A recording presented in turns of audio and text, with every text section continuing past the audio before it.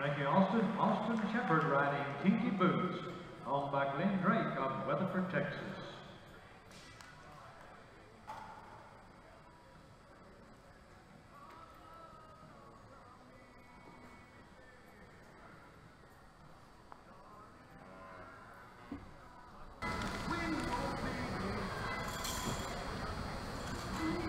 The champion of our five and six-year-old finals here this evening is Mr. Austin Shepard riding Kinky Boots owned by Glenn Drake of Weatherford, Texas with a score of 225. Congratulations, he receives the fleet cooler and a check for $13,000, champion of the